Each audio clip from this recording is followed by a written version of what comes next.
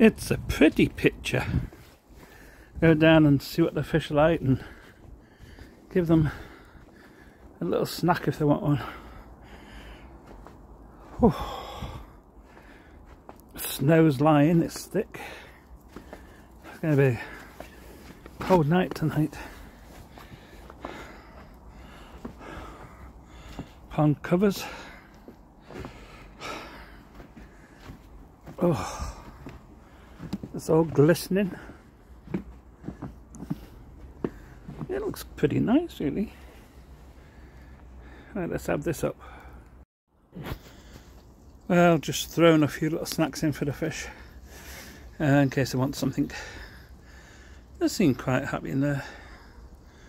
Water's still clear, although it doesn't look it from the, the video here. That's because it's the covers reflecting in the water.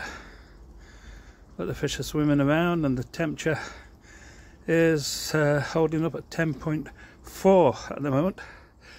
And it's at the moment it's just gone to three below freezing out here. It's very cold.